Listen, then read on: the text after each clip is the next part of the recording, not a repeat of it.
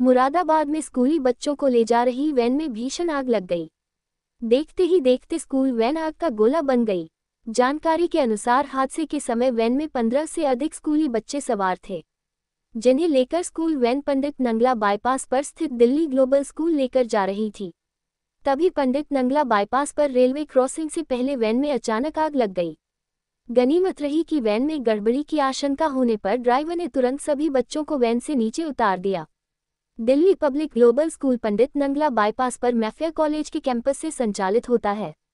जानकारी के अनुसार ये वैन हनुमान मूर्ति के आसपास से बच्चों को लेकर स्कूल के लिए निकली थी। तभी पंडित नंगला बाईपास पर रेलवे क्रॉसिंग के पास इसमें कुछ खराबी आ गई।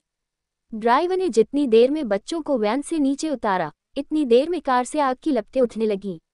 देखते ही देखते पूरी वैन आग का गोला बन गई। आसपास के लोगों की मदद से मिट्टी फेंककर आग पर काबू पाने की कोशिश की गई। लेकिन तब तक पूरी वैन जल चुकी थी। बता दें कि मुरादाबाद में इस तरह के पहले भी कई मामले सामने आए हैं। बिना फिटनेस के चलती स्कूली बसों से बच्चों की ज़िंदगी से खिलवाड़ होता रहा है। जबकि परिवहन विभाग फिटनेस के नाम पर केवल खाना पूरी करके अपने कर्तव्य की इतिश्री करता रहा है।